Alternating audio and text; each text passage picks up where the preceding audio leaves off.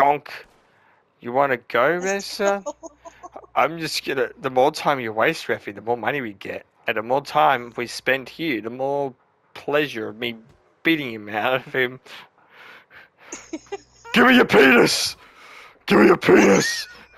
Give me your balls! I know! No, Reffy! I must know! How big is your cock? We must find out!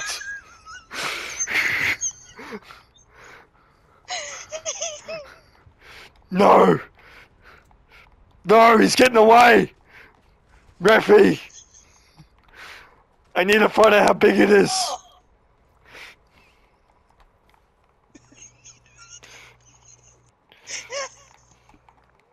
Here, I'll run him over. Will that make you happy?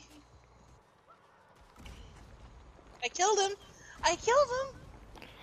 Alright, let's rip his pants off! Let's get his pants off!